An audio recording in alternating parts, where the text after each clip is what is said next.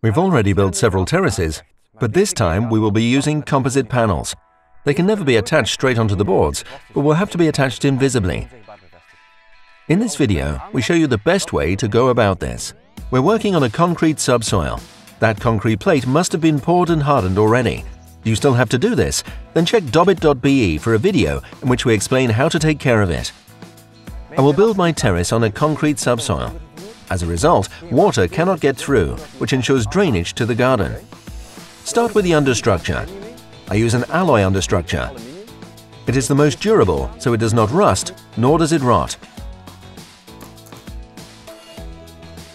In order to place the support structure, you will need a set of keys, a hammer drill, drive anchors, and a hacksaw. Evidently, you will need the alloy bottom beams and the brackets to fasten them. Rubber pads ensure damping of the sounds of footsteps. The alloy profiles have two slots. Place the brackets in the most shallow slot. The bolts have a groove on the bottom that corresponds with the direction of the mounting plate. This is convenient for fixing the bolts. For the time being, fix them by hand. Position the brackets every 50 centimeters. Are the rails too long? Then you will need to shorten them using the hacksaw.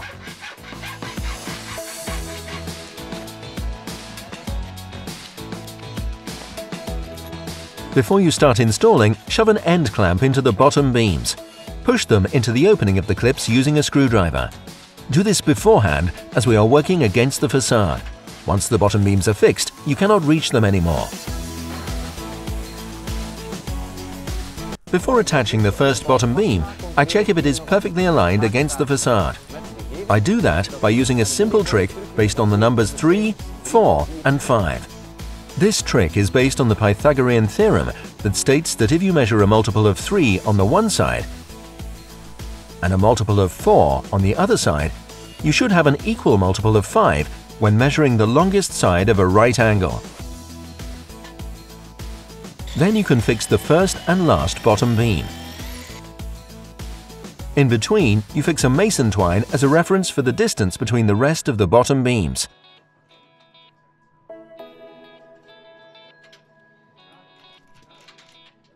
Anchor the bottom beams by drilling into the opening of the rail and fixing it with a drive anchor.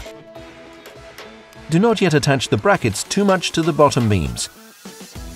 If you need to bridge a longer length, then you can connect two bottom beams with a connect bracket.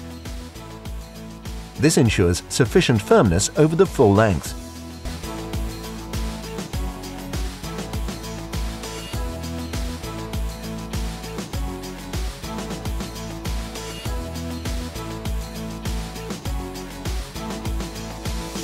I've already provided 150 centimeters of alloy beams. All I have to do now is attach an extra beam at the beginning and the end. That's to prevent the terrace from changing shape, and I do that at a distance of 20 centimeters from the first beam.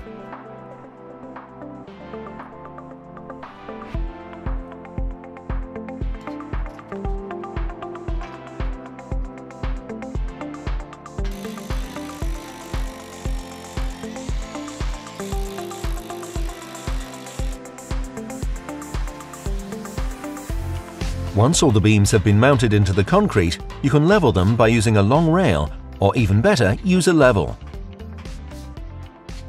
Put the beams in the beginning and in the end on one line, and then fix the brackets. Then you have to place a rubber pad under the beams. This will dampen the noise from the alloy on the concrete. In some areas, the concrete will not be even, and a glazing block will have to be added.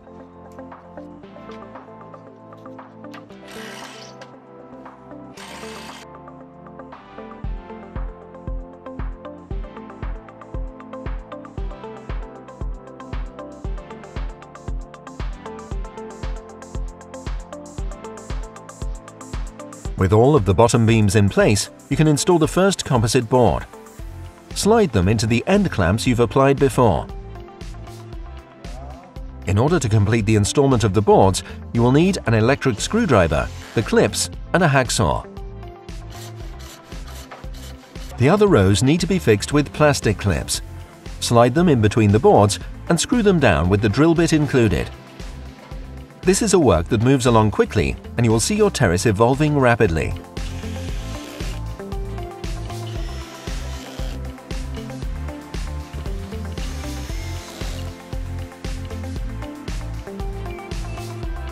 Anyway, you will have to customize a board at some point, but with an ordinary hacksaw, it's an easy task. If you want to work faster, you can use a miter saw. This will make your work progress more rapidly.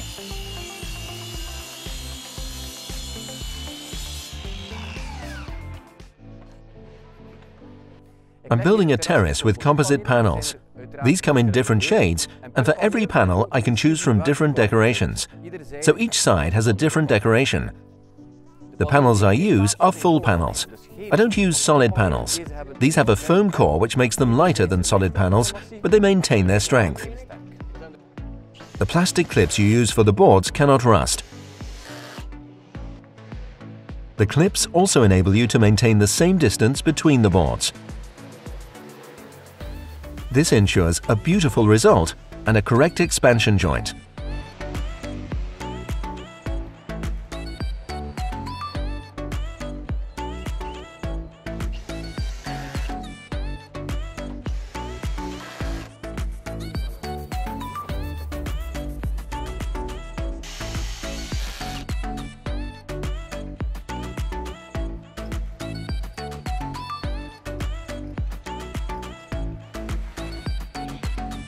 In this case, the full length of a board is insufficient to bridge the terrace.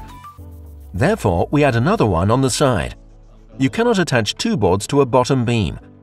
That's why we placed an extra bottom beam to ensure sufficient support at the seam. Maintain an expansion joint as well. In between two boards, there should be at least 10 mm, and on the sides where the terrace meets the wall, 15 mm. Against this wall we still have a recess. Using the jigsaw, you can customize this board as well to ensure good fitment.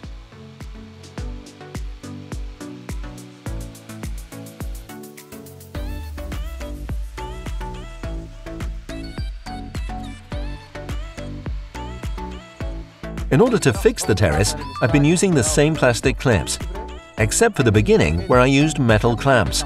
I will use the same metal clamps at the end to fix the terrace.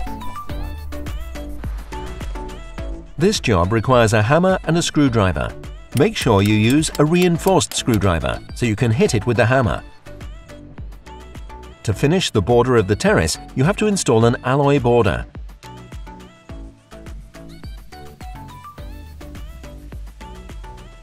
This ensures that the front sides, the end clamps on the bottom beam and the bottom beams themselves are hidden.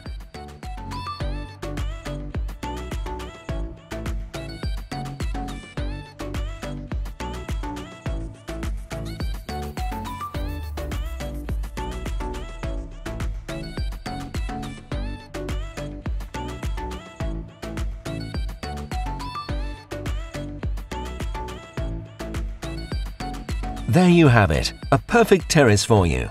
A composite terrace is fairly easy to maintain. You don't have to spend much time on it, so you can enjoy the sun longer. If you want to watch this episode again, you can visit our website, dobbit.be. On the website, you can also subscribe to our online magazine so you can stay updated. Please join me for my next project. Till next time.